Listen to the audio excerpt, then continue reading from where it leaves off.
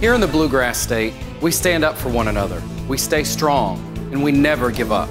I'm Sam Aguiar. As an attorney, I stand up for the people of Kentucky who've been injured in accidents.